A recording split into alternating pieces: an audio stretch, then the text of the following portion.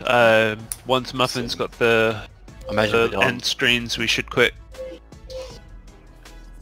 Jesus fuck, how many shots we had? 17. We got the second game.